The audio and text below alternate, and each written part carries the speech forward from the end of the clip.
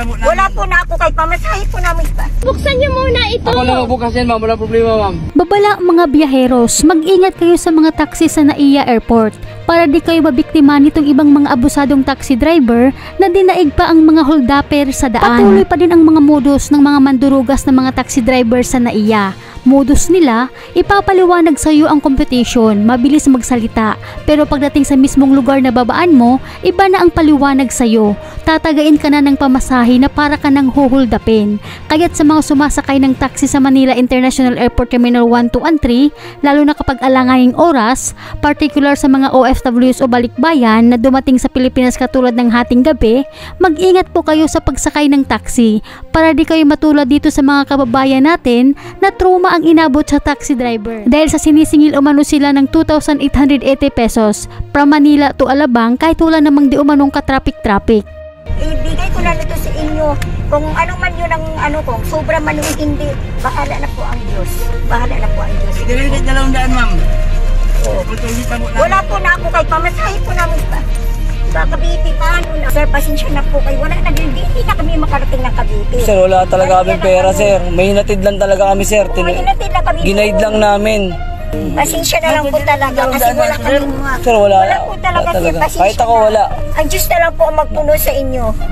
Hindi nakalak pa, hindi pa niya binubuksan eh. Ibukas na lang po. Kasi nahihilo na po ako. Baka ako'y atakihin ito. Ay, Ako, natamas ng dugo ko. Um, scam to. Yan. Scam yan, scam. Scam yan. Bukod pa dito mga kababayan, iwasan yung sumakay sa taxi kapag may lalaki kayong nakita na kasama ng taxi driver. Huwag po kayong sumakay dahil konduktor po nila yan. Nagpapanggap lang po yan na pasahero. Kasabwat po nila yan sa kanilang panluloko.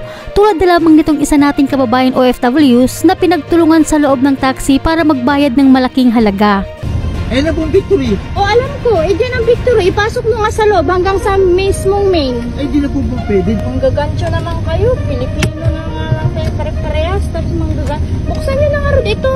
Ay, bayaran niyo po Oo nga, buksan niyo muna ito. Ako na magbukas yan, ma'am. Wala problema, ma'am. Bayaran niyo po muna. Isitol mo na yung seat uh, para ano ito mo ma- matagal dito. Isa. Mga sir, dahi kayo. Oh, kuya. Buksan niyo.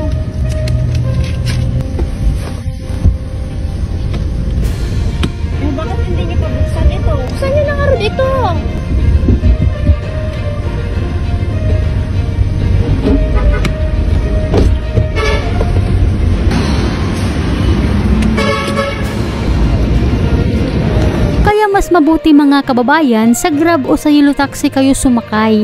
Doon pa lang may rate ka na na makikita at naka-insured pa kayo. May vote sa airport na mag-a-assist sa inyo. At huwag po kayong sumakay ng taxi kung may nakita kayong lalaki na kasama ng taxi driver. Lalo na kung mag-isa ka lang na babae dahil napakadelikado po nito. Hanggang dito na lamang po, mag-ingat po kayo palagi kung saan man kayo ngayon.